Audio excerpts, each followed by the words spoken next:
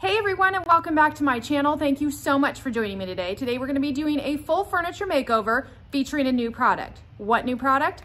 Well, we're gonna be trying Retique It's all-in-one paint. You all know I love a good all-in-one paint. And in this video, I'm not only going to brush it, but I'm gonna spray it. So let's go ahead and get started. So this is the star of the show today. We are going to be making over this three drawer dresser. Now, it's pretty rough. It needs a lot of work. So I have my work cut out for me in the prep department. I will go ahead and go over that with you guys as I usually do, um, but we'll do it in a fast forward motion so we can get to the good part, which is the paint. Now, Retique It also sent me some brushes, so I'm excited to try these out. What we are going to be doing today is brushing part of the piece and spraying part of the piece so that I can see how this comes out both ways. All right, so I want to show you up really close what this piece looked like because from far away you don't see all these imperfections. Lots of dents, dings, gouges, um, heavy scratches. So I'm going to bust out my orbital sander. It is solid wood, so I'm not worried about using such an aggressive sander for this process. I'm going to go ahead and get all of these out and get this ready for our next step. Okay, so I just want to stipulate. Normally, this is not part of the process that I have to do before painting. This paint, I want to put a big disclaimer in there, does not require you to sand the piece in order to paint it. This piece is really beat up. So it had so many dents and dings and I will not paint over that. So I wanted to sand them out smooth. So I'm not sanding the surfaces in order for the paint to adhere or anything like that. I am getting it ready so that it will look its absolute best without all of the dents and dings. We're at that point now, so now I'm gonna go ahead and blow it off. I'm gonna clean it, and then we're gonna go ahead, and I am going to prime these spots. Normally, I recommend anytime you take the finish from original to a bare wood, you want to go ahead and put a primer of sorts on there to be able to give it a nice, smooth, even finish like the rest of the finish. So you don't see those inconsistencies. Sometimes when you paint over bare wood, that paint soaks right into the wood grain and it will have an effect where it looks different than if you were to paint over this finish. So let's go ahead, get it cleaned up, and then we'll go ahead and paint. Okay, so now I'm just going to go ahead and blow this off with some compressed air, and then I'm going to move on to my next step, which is to prep this. I'm using uh, TSP alternative. You can use Krud-Kutter, whatever prep you prefer.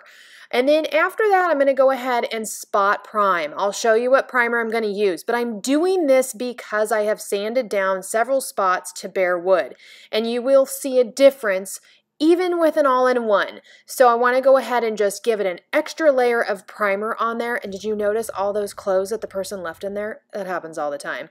Here's the primer I'm going to use. I'm just going to quick spot prime those areas that are raw wood, and then we're going to move on to giving it a quick scuff sand, and then we're going to be ready finally for paint. Sometimes spray can primer can be a little bit rough or have texture to it, so right now I'm taking a fine grit sanding pad. I'll put this in my show notes. These I love, I get them off Amazon, and it'll just create a really buttery, smooth finish ready for my paint. Okay, you guys, we're gonna go ahead and pick up fresh. Yesterday, I stopped filming because it was getting dark outside and it just would have been a huge disservice to you if the lighting isn't good. So we've got a fresh day, fresh lighting.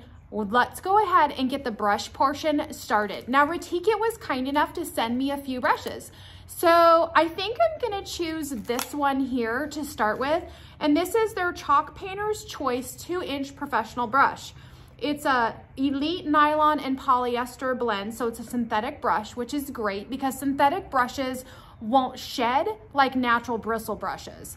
Um, this says it's specifically designed for painting furniture and cabinets, provides a sm smooth and clean finish with less brush strokes. So let's give it a try. One of the things that I really like about Retique It is on their packaging, they put really great information. They tell you step-by-step -step instructions where to go get them. They give you their 800 number right there on the packaging. I love that. Anyway, let's go ahead and get this open. We're gonna stir it up. I have my little stir stick here. I always recommend stirring. You can shake paint if you want to, but that can cause air bubbles. So I personally like to give it a good stir. Okay, I'm kind of laughing because as I'm taking the lid off, I'm looking down at it and it says to shake well. So if you want to shake, go ahead and shake. I personally like to stir, that way I don't cause any additional air bubbles in the product. But um, I've got my little stir stick here. Let me show you the consistency just so that you guys can see. So it is a little bit on the thicker side, and that's not unusual for an all-in-one paint. Um, I'm not going to thin this when I'm brushing. I may use my water mister bottle to help it glide. If I notice that I'm having a hard time working with it, sometimes when you're working with a thicker paint, they may drag. I don't know. Let's just go ahead and get started with this and see. When I spray, I definitely will be thinning this because this is far too thick to go through my sprayer and give us a good finish. But let's go ahead with the brushing and get started. So this is what the brush looks like, which I think is gonna be really good because we have a lot of grooves in here to be able to go ahead and get into. So I think this brush is gonna do really, really well. I like to give my brush just a little dampening. So that is what I'm gonna go ahead and do. And then we are going to go in with this paint. I'm really excited about this color because it's, it's a color that I have been painting a lot lately. It's a beautiful grayish beige. So I'm gonna start just by getting in, perfect brush for this, just to get in these grooves and get a really nice finish in there. Um, just so you guys can see, see, it's pretty thick. I can even feel it when I'm putting it on that it's pretty thick. I can tell right away, it's gonna have great coverage though.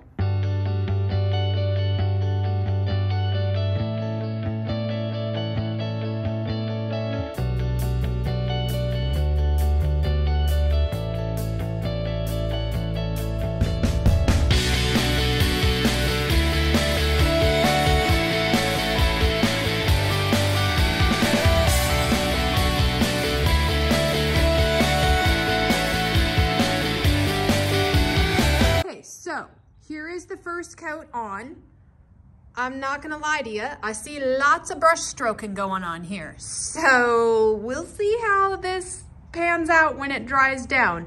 Um, it was pretty easy to put on. Okay, so this is the first coat dried down. I'd say it's been about 45 minutes. I went in for lunch and had a couple things to do on the computer. So, and we're having beautiful weather today. I would say normally you're gonna wanna recoat one to two hours um, but that's gonna depend on your climate.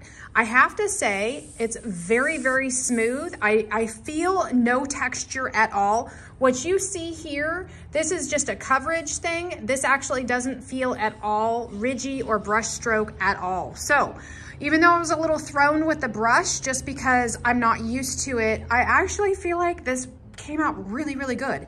So we'll go ahead and do the second coat. I was thinking of switching up and using the other brush they gave me just to test that out too. So this is the other brush they sent me, so I figured let's go ahead and give this one a try too.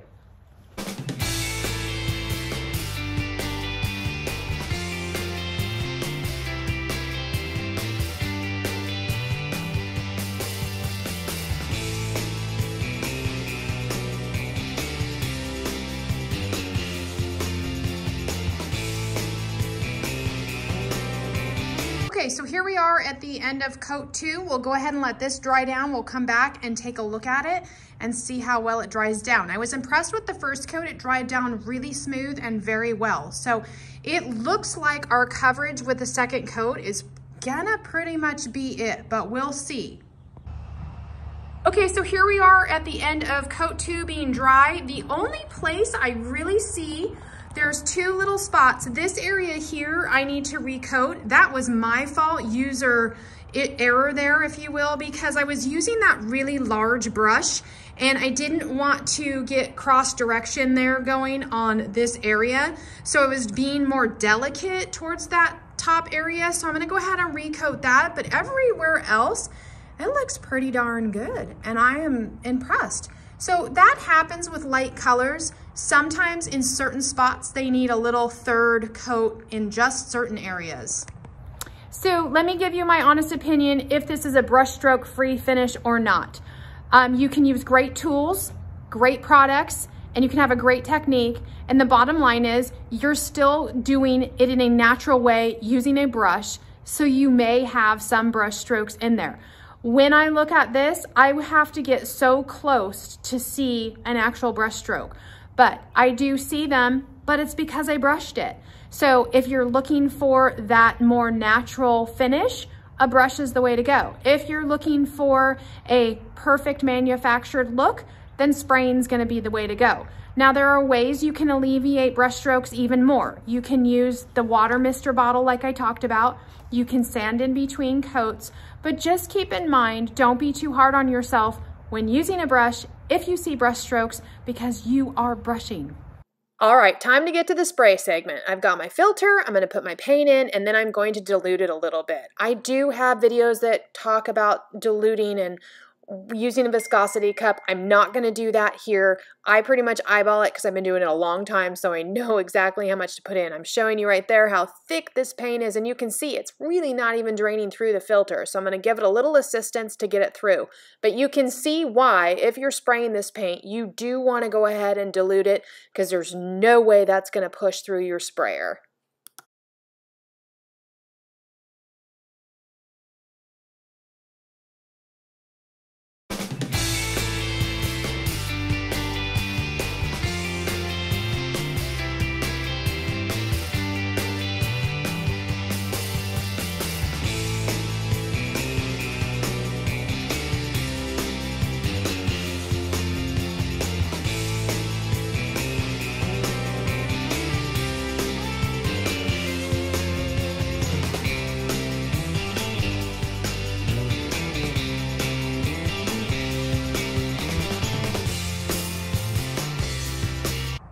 So here's our first coat sprayed. Is it beautiful?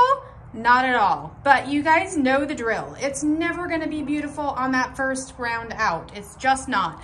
Our second coat, it will really start to take shape. And I went ahead and I sprayed the front here too. So no big deal. Our second coat is going to come together and make this look beautiful. Okay, so question that I get asked all the time, why do I paint with the drawers in? Well, when they're flush mount drawers like these, it's super easy to paint with them in and why not? So I'll show you the next step in what I do because I get asked this all the time. Do you paint the inside of the frame? Yes. So what I'm gonna do now that I have my first coat on everywhere, I'm gonna pull the drawers out, I'm gonna paint the edges, the sides and the top, and then I'm gonna go ahead and once they're dry, I'm gonna pull these all the way out and I'm gonna paint inside the frame on the inside, just so it looks nice and clean when you open and close the drawers.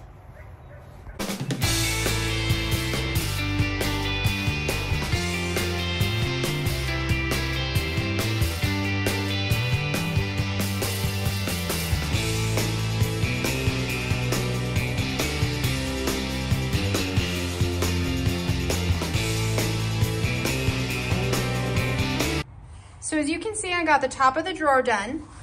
There is no overspray on the inside of that drawer.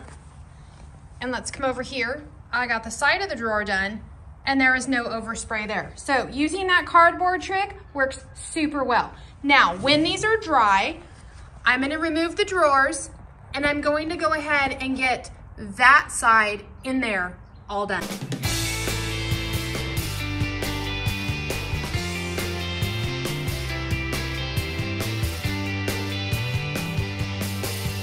Okay, so the second coat is all on. I'm gonna let that dry. Today, our temperature is about 71, so it's unusually warm right now for this time of year, which is fantastic for painting. So this should dry relatively quick. I'm gonna dump it on its back after taking those drawers out so that I can go ahead and get inside the frame here and then underneath as well.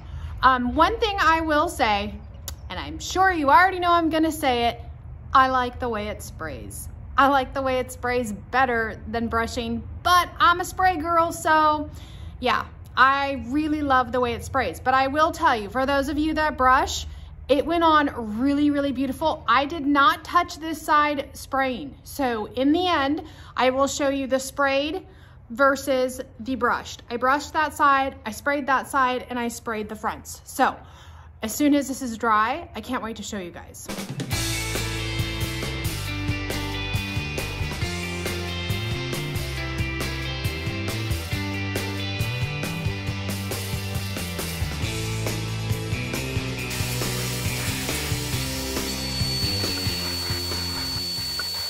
Talk about the brushes that I used for just a minute. These weren't my normal brushes that I use. Retique It was kind enough to send me these brushes, so I wanted to try them out. This one I really liked. First of all, let me just say how nicely they clean up. I just cleaned these with a little bit of uh, brush soap and water, and they're like immaculate. Anyway, this one I really liked. For doing an overall paint job, I would use something similar to this. This one wasn't bad. I just had a harder time. It's very large and I had a harder time manipulating it. They did send me a smaller one that I didn't use. But what I will say about this one is, look at how thin and fine of a point that you can get. So this is good for crevices, small details, like those lines I was painting, perfect. So this will come in handy. I just didn't care for it to paint the entire piece, even though it's larger. I really liked this one. So this is the one that I would recommend if you were gonna go ahead and order this Retique It, um, any of their paint, whether it's their chalk paint or their um, all-in-one like I'm using here. This is a really good brush at a really good price point. Okay, so we're gonna go ahead and get on with the next segment of the video, which is taking care of the top. I don't actually know yet what I wanna do with the top. I'm gonna sand it first and then see where that takes me. Um, and yes, I sand and stain after I paint. I get a lot of questions about that. And here's what I'm gonna tell you. It's the way I do it. You can do it any way you prefer, but I have a HEPA dust collection system. I'll show you here in just a minute what that looks like. It's connected to my sander and the dust is extremely minimal, so I'm not really worried about it ruining my freshly painted um, surface especially if my freshly painted surface is all dry, which it is because we are on the next day here. So I'm gonna go ahead and get started with my sanding. I'm using for today's video my Mirka Deros 5.0 orbital sander. Love this thing. It is a workhorse of a sander. I will start with 100 grit. I'll move up to 120 and then 150. If I feel like it needs to be finer than 150, then I will go ahead and do 180. I'm obviously gonna be staining this with some sort of stain. I just don't know what yet. So let's just see where it takes us. So you guys can see, this is what I'm talking about. This is my Festool CT MIDI. It is a HEPA dust collection system. It is amazing. It is a tool I cannot live without. And I've had this for quite a long time. Now you might be wondering, because I have had people ask, it looks brand new. I take really good care of my tools, especially when they're an investment and I spend a lot of money on them. So yes, it actually does still look pretty brand new.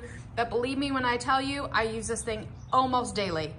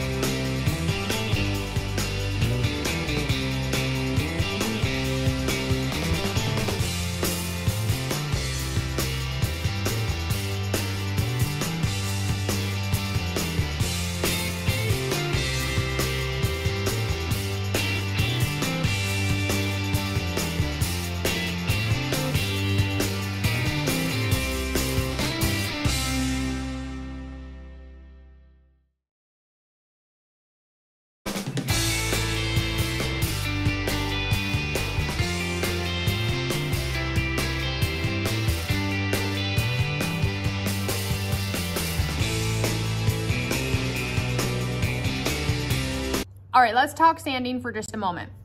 So as you can see, I started with my 100 grit, as I mentioned earlier, and I'm not trying to get the entire piece stain ready with one grit of sandpaper. You don't want to do that for multiple reasons. First of all, your most aggressive grit should be taking off the finish. And then you want to move up in grits to go ahead and continue to remove the finish, smooth out your finish, and get it ready for stain. Now, anytime you use a stain that's water-based, it may raise the grain, especially in certain wood species. This is pine and it does have a tendency to get the grain raised, which will make it feel a little rougher. So we try to get it as smooth as possible, but not too smooth. Uh, I always say for stain purposes, you wanna stop at 180 grit. Anything smoother than that may change how your stain imparts to the wood evenly, and then you've got that issue. So we're gonna do 100 grit, which we're done with now, 120, 150, and possibly 180 if it's not smooth enough. The other cool part about having, and I'm gonna show you guys, I haven't done anything, I just stopped. Um, the other cool part about having that HEPA dust collection system is not just the fact that it doesn't make a lot of dust everywhere, but as soon as I stop my sander and start my sander, the machine stops and starts. So it's pretty cool. So this is our finish here. This is with the 100 grit. As you can see, I got a lot of finish left behind. This is nowhere near stain ready. So we're gonna go ahead now with our next grit of sandpaper and keep removing the finish and ensuring that we smooth out the top and have it be stain ready. The other thing that you wanna do, the reason why you wanna move through the grits of sandpaper like I'm doing, is to avoid any swirl marks. You are using an orbital sander, which is swirling. Too much pressure can cause swirl marks. So you wanna let the sander do the work and you also wanna move up through your grits to be able to go ahead and sand any of those out that do happen to get in there. And just so you can see, look at the minimal amount of dust. First of all, that's not, that's not dust, that's overspray from my paint job, but the dust is so minimal. You can hardly see, and I haven't done anything. I have not wiped this down or anything. So no dust is on the piece itself anywhere. So you can see why painting before and doing my sanding after is not an issue with this.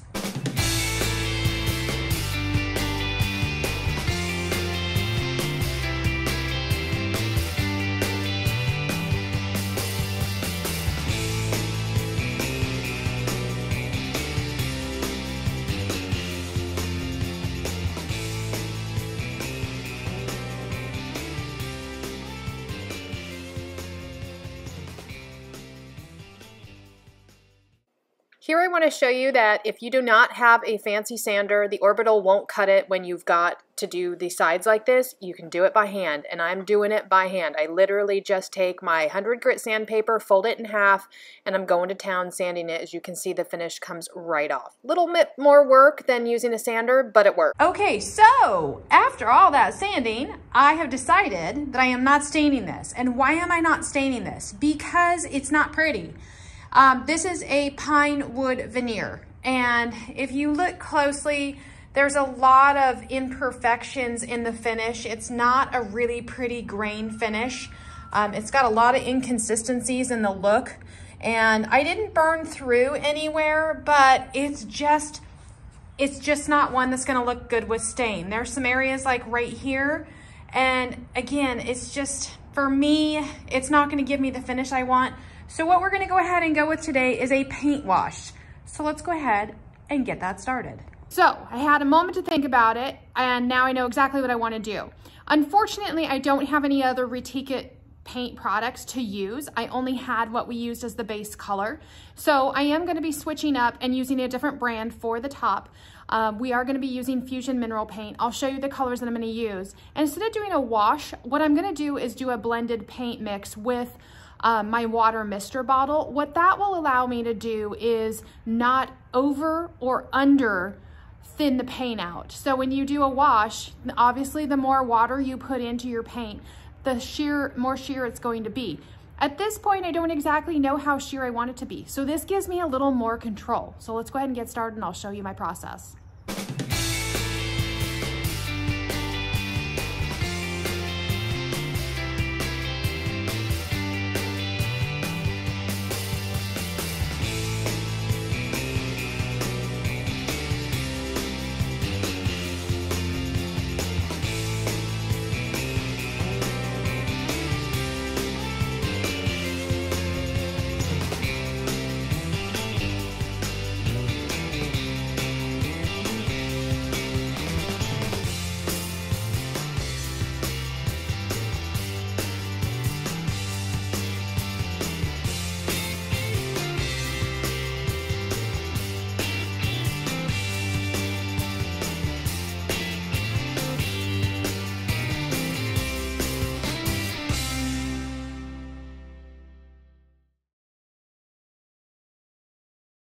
Okay, so here we are. I am going to stop at that. I love the way it looks. I love the fact that you see the wood grain underneath, but it did hide the imperfections and inconsistency in the way that it looked.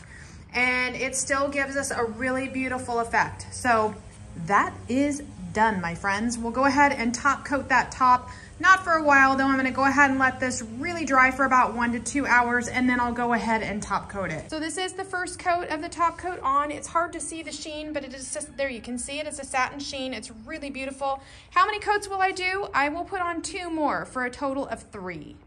Okay, so let's go ahead and read a little bit about what is on the packaging and don't mind me, I've got to put my cheaters on because the words are tiny. So let's just see what it says here. Retique Ultratique is a chalky smooth paint that includes primer and top coat in one, just like I said. Um, it is an acrylic paint. Um, there is no need to wax or poly. Um, it goes beyond zero VOCs to offer zero emissions, making it safe for you and your family as well as the environment, which that's awesome. We like that. Um, and then it says this will cover, this is a pint, um, and it will cover approximately 100 square feet per quart. So got to do the math there. Um, application is for interior use, no sanding or priming required. Use the product when surface temp is above 50. That is with pretty much any paint. And yes, I sanded this, but I told you guys in the very beginning of the video, that was not because I was painting. It was because this piece was heavily damaged with dents, dings, and heavy scratches and gouges. So I needed to get those out. So I really liked working with this paint. It is a very similar to paint to some of the other ones that I use. Love the finish. It was easy to spray and it was easy to brush. Everyone, that is it. We are at the end of the video. Thank you so much for joining me today. Wasn't that fun to see a full furniture makeover done, brushing and spraying? I love doing that. Thank you so much for being subscribers. If you aren't subscribed to my channel, please do so by hitting that subscribe button, as well as the post notification bell so that you're notified when all of my latest videos are released. Plus, it allows you to be a part of my YouTube community, help support my channel, and keep me going. Thank you again, and I'll catch you on the next video.